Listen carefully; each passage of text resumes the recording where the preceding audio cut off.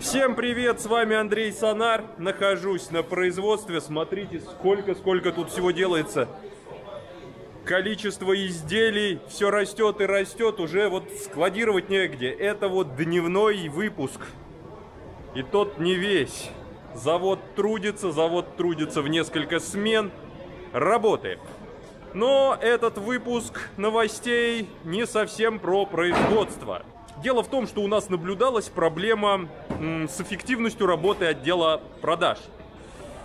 Людей в отделе продаж было мало, консультации были продолжительные по времени, поэтому длинные очереди на обслуживание звонков, обращений клиентов имеют место быть. И сейчас ведутся работы по радикальному улучшению этого направления. Вот здесь новые сотрудники отдела продаж, которые будут сейчас проходить стажировку на производстве. Значит так, с чего начнем? Ты отделом продаж командуешь, ты и говори. Это важно, и э, какие у нас есть вообще наши э, именно станки, которые работают, и которых не у всех есть, а у нас есть. Мы... Например, есть две технологии. Технология склеивания, когда вручную склеивается изделие, и технология сварки тем или иным методом. Сварка горячим воздухом, ей э, свариваются какие-то изделия большого объема. Вот, например, корпуса лодок а сваркой ТВЧ, сваркой токами высокой частоты, э, свариваются маленькие изделия, там вот фурнитура, например, чтобы соединить вот в одном этом пятачке все элементы, то есть и стропу, и внешний вот этот вот пятачок, и там внутренний еще идет пятачок. Для этого используется сварка ТВЧ, которая спекает все эти элементы воедино. А большие конструкции, как, например, баллоны, они свариваются на станке горячим воздухом. Для такой большой станок, как, в общем, большая швейная машинка, только вместо иголки с ниткой там тепловая головка, которая расплавляет с точки соприкосновения ткань, и после этого она надежно сваривается. Дальше что важно знать? Все надувные днища все надувные днища собираются только на клей. Невозможно сделать сварное днище.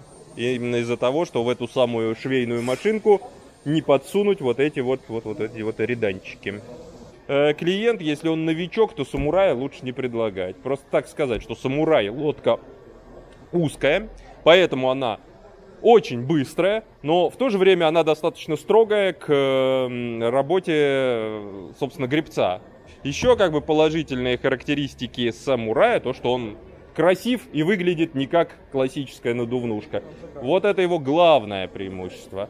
Не всегда, вот, кстати говоря, вам, вот не всегда менеджеры все четко прописывают. Они могут так написать обобщенно, что у э, оклейщиков сразу появляются варианты куда поставить. Надо э, делать описание установки допов таким образом, чтобы не было вот этой э, разновариантности. Это такой вот интересный метод крепления датчика. Причем датчик крепится на, ну, грубо говоря, на палочке, подтягивается туда по максимуму, он вот здесь вот затягивается, потому что вот это при накачке лодки вот это все сжато. Он становится практически вровень с днищем, и не повреждается а какие-то там камни, если он идет, амортизирует. При этом получается полная герметичность кокпита. Вот отсюда выходит провод и идет, собственно, к экрану. Задние спиннингодержатели обычно расставляются вот под 45 градусов для того, чтобы они используются для того, чтобы ловить э, методом дорожки, называется, ну, троллингом. Троллинг, правда, на моторе, а дорожка это веслами. Э, и э, под 45 градусов, значит, позволяют установить два спиннинга так, чтобы приманки шли максимально разнесенные друг от друга и не путались. Передние же спиннингодержатели ставятся наоборот, ближе к вертикали, Э, потому что, во-первых, э, когда мы гребем, то у нас весло в переднюю часть лодки выносится, и если бы они стояли под 45 градусов, мы бы задевали веслом э, сами спиннинги или шнуры от них. А если они стоят вертикально, то задевать мы не можем. Это значит, что мы можем использовать практически вот этот вертикальный спиннинг как дорожечный, то есть он, э, от него будет приманка заброшена. Или, как чаще их используют, в качестве транспортировочного. То есть покидали-покидали, половили рыбу, поставили спиннинг э, в, в этот самый спиннингодержатель и пошли на следующую точку. Вся лодка весит 11 килограммов. Всего моторная. Конечно, к ней есть э, определенные требования, что на ней нельзя там врываться в какие-то острые такие, э, ну там, где толстая ПВХ выдержит, тонкая ТПУшка это может не выдержать. Ее нужно использовать аккуратно, но э, при этом э, тут получается просто минимальнейший вес э, весь, э, всей этой лодки.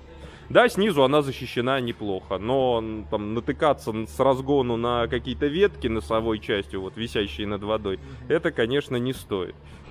И еще одна польза лодок такого плана, то что, вот смотрите, надувная часть, надувная часть, днище, надувная часть, а вот вся вот эта вот боковая часть, которая чаще всего встречается с какими-то препятствиями, она не надувная. То есть это получается дополнительная защита. Например, наезжаете на какую-то там арматуру или стекло, повреждается вот эта часть, а надувные части остаются целыми. Эта часть очень легко чинится, она критически не влияет на безопасность, поэтому просто заклеивается и все. При этом надувные отсеки сохраняют свою герметичность. Вот это преимущество Веги. Значит так, я так сразу скажу такие базовые вещи про наши САПы. С китайцами э, конкурировать тяжело, они могут делать дешево и красиво. Но зато мы можем делать эксклюзивно. То есть там, где у китайцев будет какое-то стандартное решение по длине, там, по ширине, э, то мы можем сделать САП любых размеров, вот как клиент пожелает, любой толщины материала, э, любой формы, можем тут рыбий хвостик вырезать или что-то еще. В этом как бы наше преимущество. Тут делается покрафт Аврора. Он считается скоростным покрафтом, все по той же самой причине. У него байдарочные обводы и достаточно большая длина. При этом посадка центральная, лодка идеально имеет идеальную балансировку, развесовку, поэтому она быстрая. Поэтому ее можно уже относить э, к каякам, хотя она по своей э, классификации мы ее считаем по крафтам. А вот станок который сваривает токами высокой частоты. Никакой эффектности, он сваривает бесшумно, э, без всяких э, спецэффектов, если, конечно, все штатно работает. Вот так вот, раз, и усиление на клапан приварено. А тут даже сразу клапан приварен. О, до чего техника дошла. Теперь Клапаны ввариваются прямо в лодке. Они теперь не вклеиваются, лепестковые клапаны. Вот это чудо из чудес. Даже я не знал про это. Ленточки делаются. Так, ну здесь вот столярка. Здесь делаются трансы, штевни и прочие жесткие элементы, которые у нас в наших лодках используются. И не только лодках. Если клиент заказывает там транец какой-нибудь нестандартный высоты, то там не надо ему заламывать плюс 8 тысяч, как кто-то там заломил. Ну я.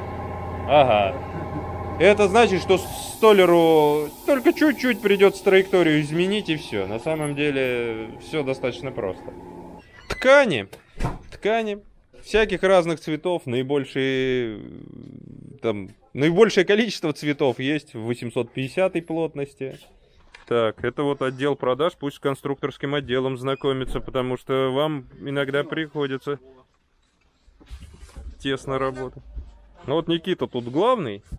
Да, и, кстати, вам вот просьба, о которой я уже тогда говорил, надо формулировать задания от клиентов так, чтобы не было никаких э, разночтений, то есть, э, чтобы при формировании задания по допам, чтобы при э, вот этих вот, да, чтобы, чтобы не, были, не было разных вариантов. Да, Никит? А, ну и раз все тут, а, комментарии к заказу не работают. Вот если вы оставляете комментарий на производство, ну типа наклеить три кольца туда-то, это непонятно, ну и мы как бы не знаем, что вы имели в виду. То есть там петля шитая с установкой, например, выбита опция. Куда ее клеить? Там, если в комментарии написано в корму, что это, к чему это, для чего это. Ну, то есть нам это непонятно. То есть конкретное место. Надо конкретное Надо место конкретное у клиента место, выяснять. У клиента выяснять да. Да, вот. Пяточный упор две штуки, угу. а лодка трехместная. Угу. То есть куда ну, мы? Кому, да. Ну да, у нас Куда ставить? Объясняю, сейчас подойдите, сейчас э, расскажу разницу между ПВХ и ТПУ. Тут был задан вопрос. И э, как, в каких условиях применяется где, ТП, где ТПУ, а где ПВХ. Значит так. Сначала экономический фактор. ТПУ гораздо дороже, чем ПВХ. ТПУ прочнее, чем ПВХ. Но при условиях то, что они одинаковой плотности. Например, если взять условно ТПУ 600, то она будет гораздо прочнее, чем ПВХ 600. Но вместе с этим, вместе с этим, она будет стоить это изделие как крыло от Боинга. Как бы делать в таком случае, если там уже идет избыточная прочность, то из ТПУ невыгодно. А вот когда ТПУ начинает быть э, совершенно необходимым, это именно в легких изделиях.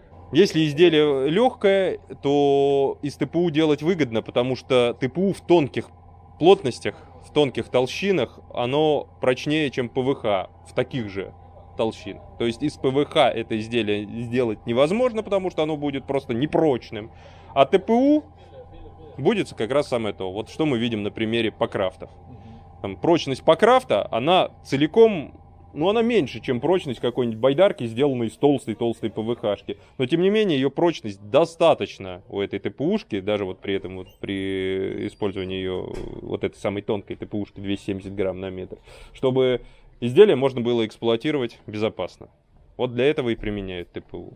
Спасибо большое нашему производству за чудесную экскурсию. Мы будем надеяться, что а, наши продажи улучшатся, и мы справимся. Я такого же мнения. Всем пока!